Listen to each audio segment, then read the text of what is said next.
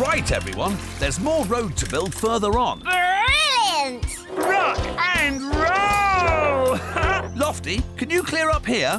Uh, yes, Bob. Don't be too long. Dizzy will need you to get some more water from the river soon. Oh, um, okay, Bob. Let's go. See you soon, Lofty. And be careful you don't run over my cement, Lofty. It's very, very wet. Oh, uh, all right, Dizzy. Uh, I need to think so. Oh, hello, otters. Um, how are you?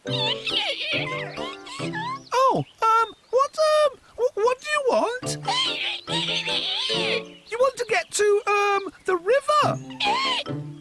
Oh, no, uh, wait, you mustn't walk across dizzy cement.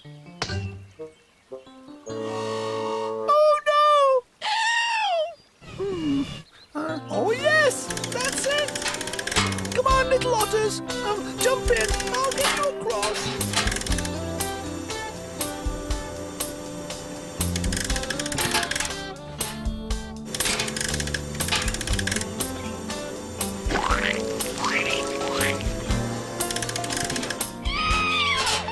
Hi, Lofty.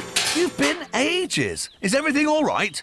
Oh, um, I was just helping the little otters. They wanted to get to the uh, river, and um, I didn't stepping in Dizzy's cement. Well, it looks like it's you who's in the cement, Lofty. Oh no! Oh, oh what will Dizzy say? She'll say, "Well done, Lofty."